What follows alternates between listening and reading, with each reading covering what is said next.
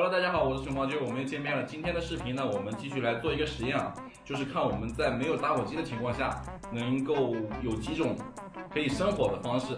那么这种像钻木取火这种东西啊，我们就不做了，因为我的动手能力实在是太差了。我们就是来做几个比较简单的啊，你看这里有这个电池以及这个 口香糖的组合，还有一个万字火柴。然后这个是呃太阳能点烟器，这个是一个放大镜，我们就用这四样东西来生火。其中这两个是需要用到太阳能，我们等一下出去再来做。现在我们先来用这个不需要太阳能两个东西。这个万斯火柴呢非常的简单啊，我们等一下再来做。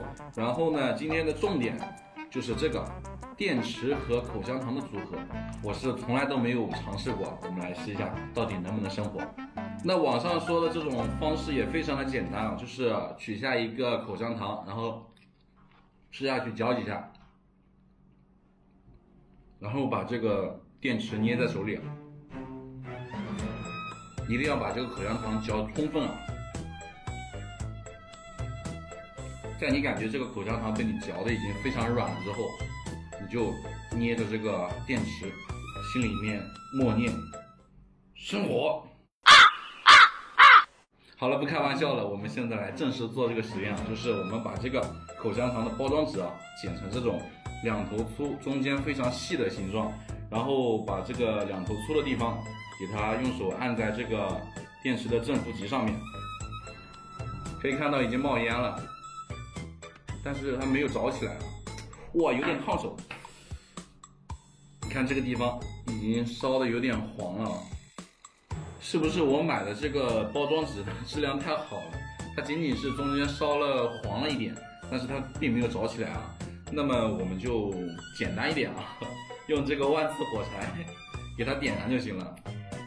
这个万字火柴呢，它使用就非常的简单，你看这样一划，好了，直接点燃。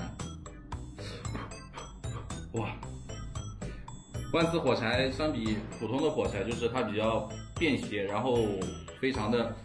防潮，呃，防压，就是这样，还是一个非常精美的挂件啊。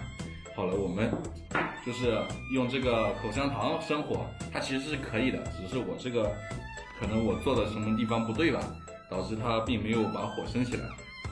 那么就是这个万斯火柴，它是非常好用的。现在我们到外面来做这两个实验，一个放大镜，一个这个太阳能点烟器，看看它们能不能成功的生火。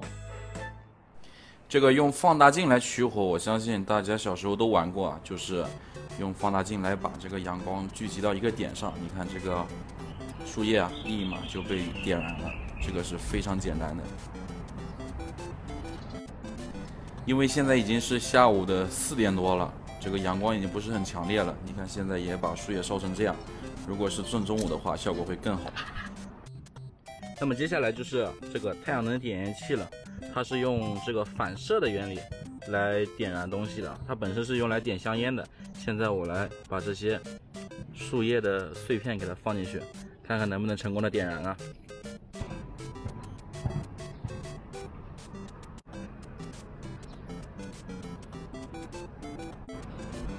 这个同样的是要把太阳光聚集到这个中间这个点上，但是我保持这个姿势已经半分钟了，好像。并没有任何的反应啊，它连一个烟都没有冒啊，我看有没有被烧啊，一点点 被烧的迹象都没有啊，这难道是我使用的方法不对吗？反正这个太阳能点烟器取火啊。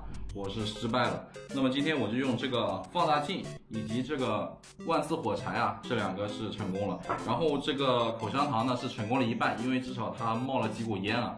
那么就比较推荐这个放大镜以及万斯火柴啊，大家用这个来生火的几率比较高啊。好了，今天的视频就到这里，如果大家喜欢我的视频，可以给我一个关注，我们下期再见。